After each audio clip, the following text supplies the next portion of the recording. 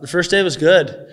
Obviously, it's nice to get the fitness stuff out of the way. Um, always, always a tough, tough day with all the tests there, but good to get that out of the way. It was fun to be back on the ice with everybody.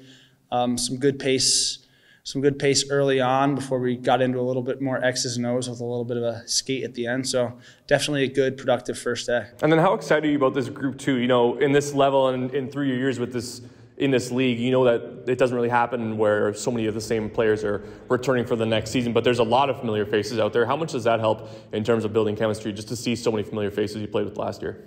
Yeah, I think it's going to help a lot. I know a lot of the guys are super excited. It's pretty cool to, like you said, have a lot of guys coming back from last year. Uh, helps on the ice. Obviously, it helps make more guys comfortable away from the rink as well, which I think feeds into it a lot. And then, like you said, last year was also super different with taxi squads and everything. So the league could be a little bit different. So we're excited to see what, what it's like.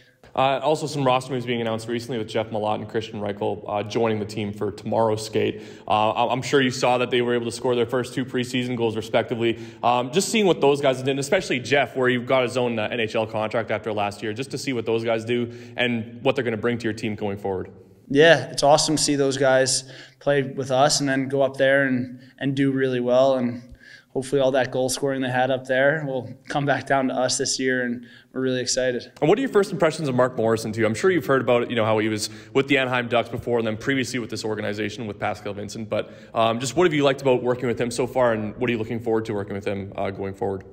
Yeah, uh, I mean, only two days so far. We talked a little bit over the summer. I think he gave everyone a call. He seems like a super friendly guy, and like you said, he has quite the resume. So he certainly knows what he's talking about. So I think as camp goes on, we'll learn more. But so far, so good for sure. And last year, you were also able to set a career high or a pro high, anyways, in goals in a lot fewer games too. So you're definitely on the right path here. What did you do this summer, sort of, to make sure you can keep building on last season? Yeah, it took us similar to approach to the summer before.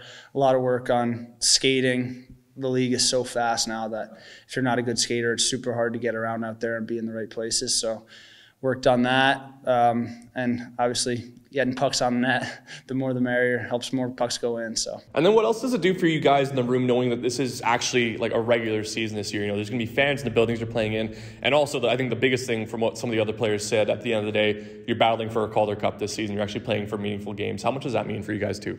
Yeah, it'll be super cool playing for a playoff spot. I mean, I think guys last year took a lot of pride, obviously, and we wanted to do the best we could every day, and ended up going fairly well for us in the end. But um, yeah, looking at it, just checking out the schedule, it's a lot of games. It's a lot of games again compared to last year. No big 10 day breaks or anything like that. So I think it makes camp even more so, a bit more important, just making sure your body's ready to go because it's a long season coming up.